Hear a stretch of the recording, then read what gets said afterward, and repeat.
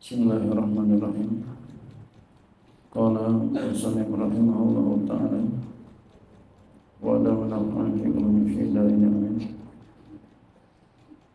Fatimatun ini satu peringatan wa sunanuhu sab'ata asyara dan sunnah-sunnah mandi itu ada 17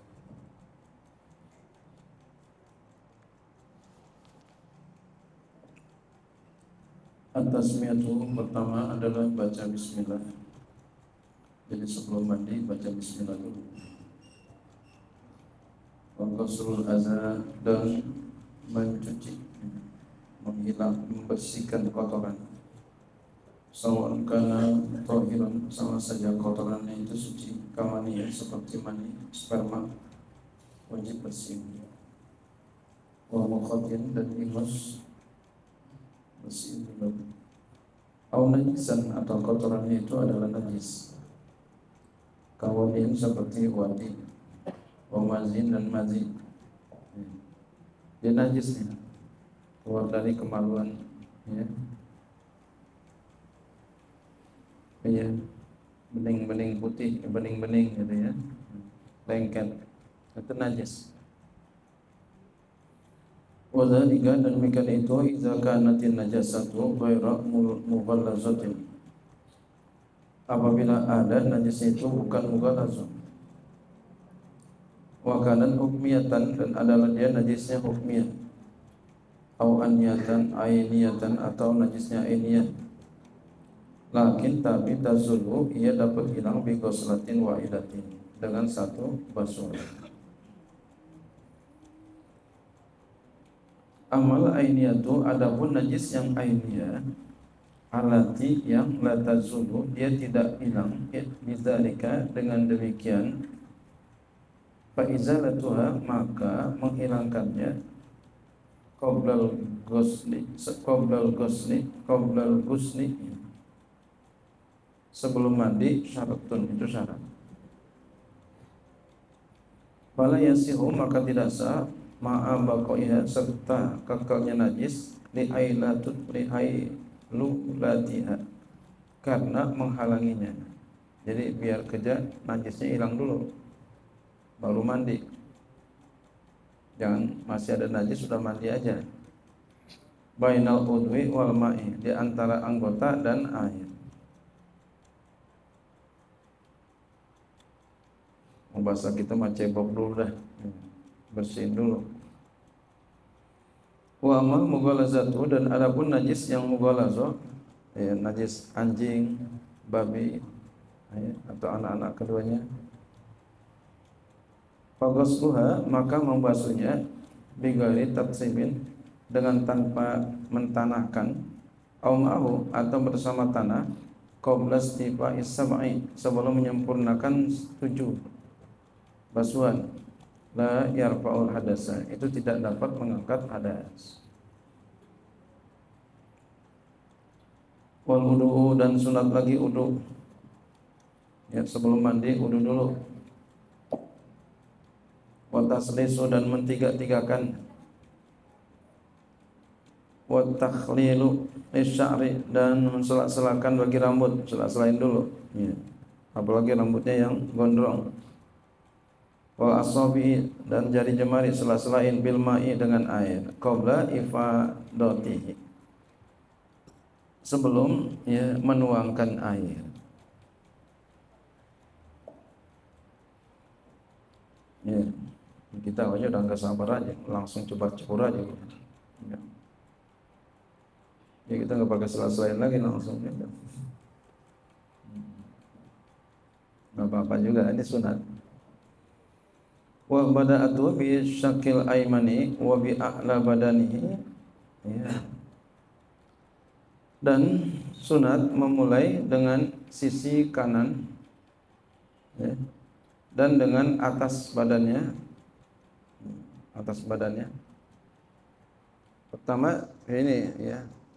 Ujung umbuduhun lalu sebelah kanan. Lalu sebelah sini mandinya awal-awal nongkrong dulu mandinya pertama.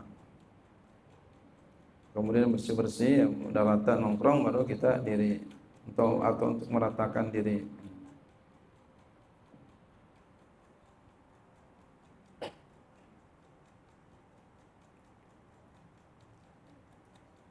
Wadalku dan sunat menggosok.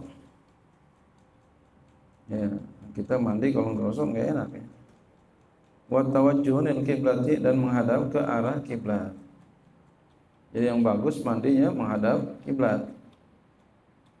Wa kaunuhu dan keadaannya bima'alin di tempat la yanaluhu rasyasun. Di tempat yang tidak terkena ya bancretan bahasa kita ya bancretan. Jangan kena pancretan tapi kita ini ya ubin ubin mudah sekali kena pancretan apalagi kalau kita lagi uduk itu jangan sampai kita lagi uduk udah rapi uduk tuh kena pancretan kaki kita. Ya. Jadi kalau kita uduk tuh bapak-bapak ibu-ibu sekalian perhatiin. Kalau kita cuci kaki ya kaki kita di atas air lalu matiin dan kaki kita udah berjalan tuh air masih ngerocok. Akhirnya bancret ke kaki kita. Jangan sampai begitu. Iya. Ini kita jangan sampai begitu.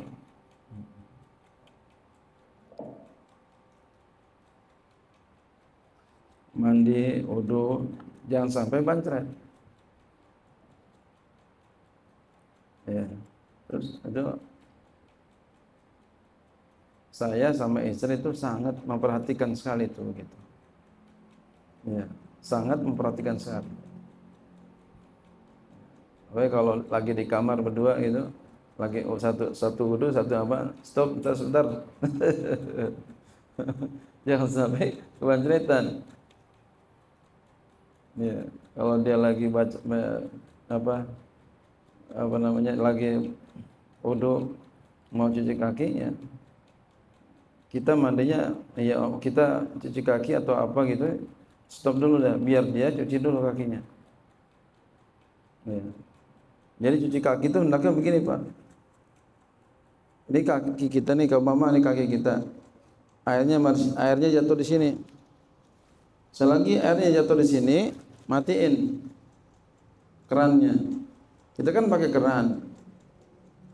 Kerannya matiin. Ya. Jadi nggak bancret. Jangan kerannya kita eh, kita udah selesai dari situ kerannya masih ngocor, bancret kena kaki kita. Jangan begitu. Ini maksudnya begini sini.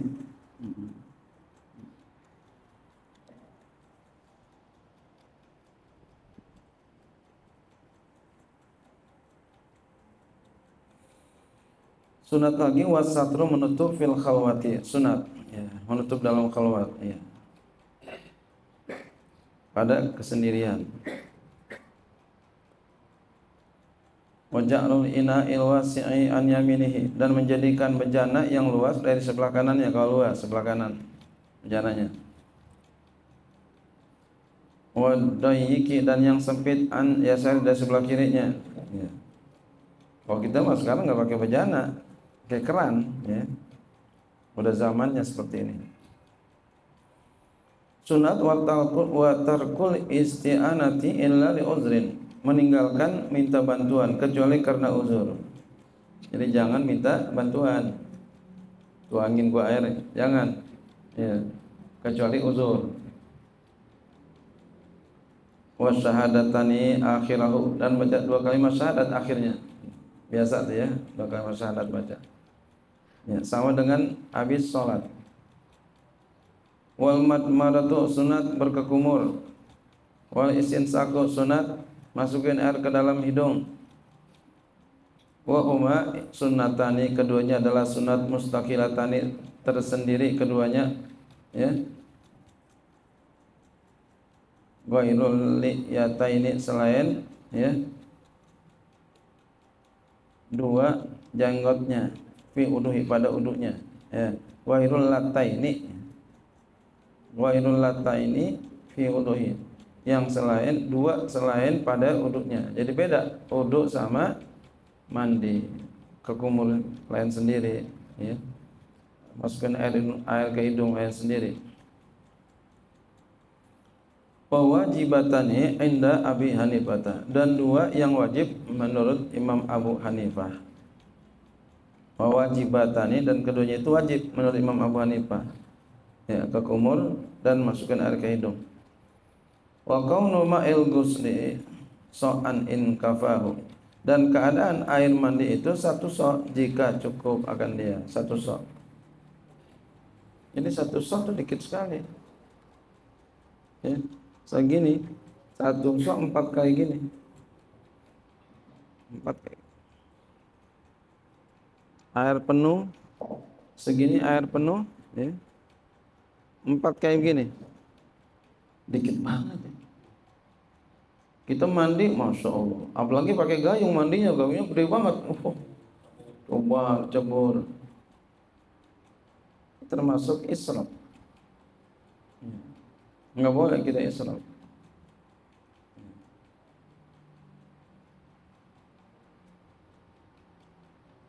Jadi pakai keran yang bagus, keran. Keran mandinya. Keran kenapa? Keran ketika kita lagi sabunan matiin.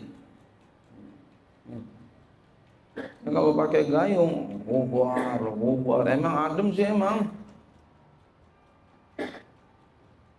Itu termasuknya serat. Kalau umpama begini, ukuran satu gayung umpama bisa membasuh, cukup membasuh, eh dia sampai dua tiga gayung. Itu israf namanya.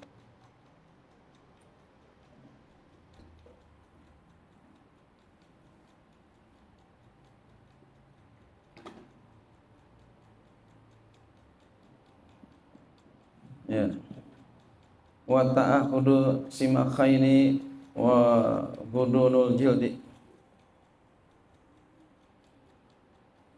dan memperhatikan lubang telinga ya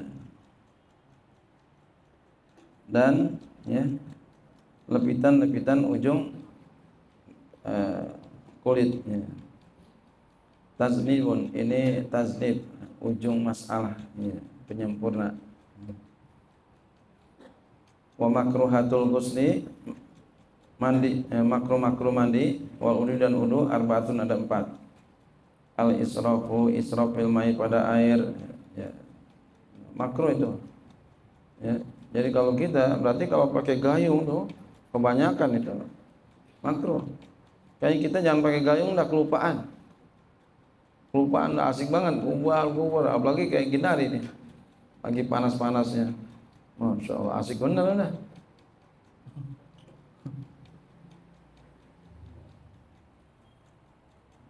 lah. Wahwa akhzul ma'i itulah mengambil air ziyadatan lebih ama yakfil udwa dari sesuatu yang mencukupi satu anggota. Jadi mencukupi satu anggota dia sampai dua kali. Satu gayung cukup satu anggota, eh dia dua gayung, dia tiga gayung. Itu namanya ah, israf makruh wa in lam yazid ala salasi. Sekalipun enggak lebih dari tiga sekalipun. Sekalipun enggak lebih dari tiga. Walau bisyati nahrin sekalipun di pinggir pantai. Tetap makruh. Wa ziyadatu ala salasi. Ya makruh lebih atas tiga. Apalagi? Iza kanat ya mutayaqqanatan apabila tiganya itu yakin wa kanal ma'u dan adalah airnya itu mamlukan lahu au mubahan dia milikin atau mubah. Airnya punya dia kolamnya itu kolam dia. Mubah. Kalau kolam orang ya haram ya. Atau mubah punya orang dibolehin mubah. Kalau fa in kana mauqufan haruma maka jika itu diwakafkan haram umpama di musola yang punya musola wakafin Nah, itu sampai lebih dari tiga hukumnya haram. Punya masjid, ya, itu wakopin umpama diwakopin sampai lebih dari tiga haram. Wala yukrahu dan tidak dimakruhkan fil udhui pada udu gosnur roksi ya membasuh kepala kepala itu kan disapu tapi kita basuh itu enggak makruh basuh apa bedanya gosel dengan masun ya? Kalau masun nyapu itu tidak mengalir airnya. Kalau gosel airnya ngalir. Wa in nal aslu mas'ahu sekalipun asal nyapu nyapu kepala eh, kepala adalah menyapunya. Li'annahu kasiru fi af'alil wudu karena bahwasan dia itu yang banyak pada perbuatan wudu Ais karena tasul asil bi dengannya dengan membasuh an nazafatu oleh bersih. Wa naqsu anha dan kurang darinya. Makruh yang ketiga ya. Makruh-makruh yang ketiga. Yang pertama tadi apa israf. Yang kedua lebih dari tiga. Yang ketiga kurang anha dari tiga. Makruh juga. Ya. kecuali ada sesuatu ya airnya sedikit waktunya sedikit. Nah, itu nggak apa-apa kurang dari tiga. Bahkan bisa jadi wajib. Ya. orangnya banyak jamaah airnya sedikit. Wajib satu-satu. Ya. Air, airnya sedikit orangnya banyak. Umpama ya ngantri mau udu airnya dikit. Wajib satu-satu jangan dua-dua jangan tiga-tiga apalagi. Wajib tuh kalau begitu. Nah. Jadi makruh kurang dari tiga.